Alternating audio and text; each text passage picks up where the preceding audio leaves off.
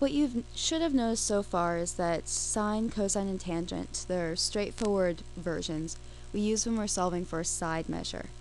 The inverse trig functions, sine inverse, cosine inverse, and tan inverse, or arc sine, arc cosine, arc tangent.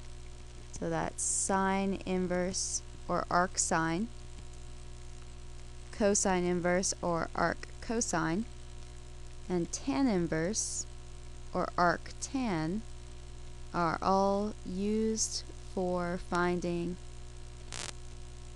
an angle measure.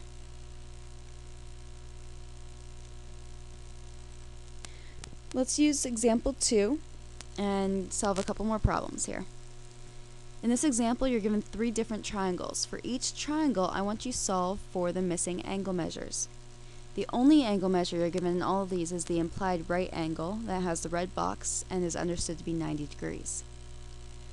Take a moment, work these out on your own, resume the video as necessary to see the solutions. Alright, let's look at this first one.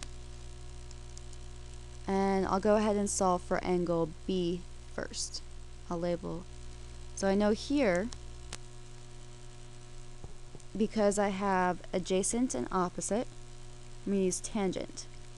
Tangent of B equals 385 over 179 so B equals tan inverse of 385 over 179. We can use our calculators and find that B, let's see, tan inverse or arctan of 3.85 divided by 1.79 comes out to be 65.06 degrees. Now to solve for C, we know that A, B, and C must all add to 180.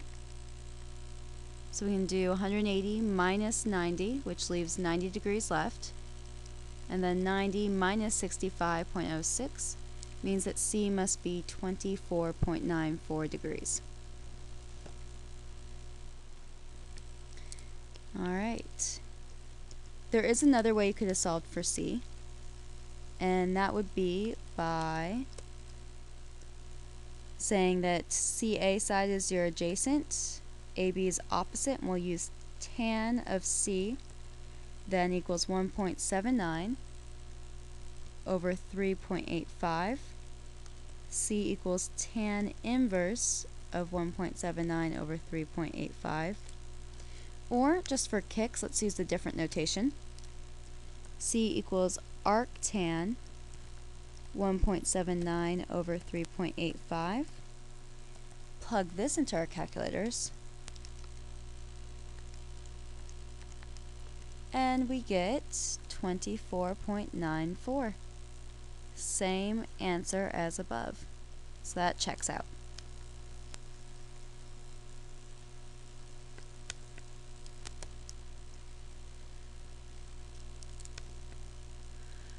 For the next one, I'm going to go ahead and start with angle B. This gives me an opposite side and I hypotenuse. So I'm using sine.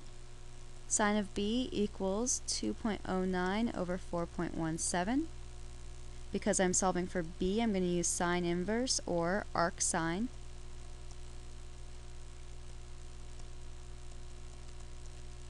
Plug it into my calculator as sine inverse of 2.09 divided by 4.17 and I get 30.08 degrees.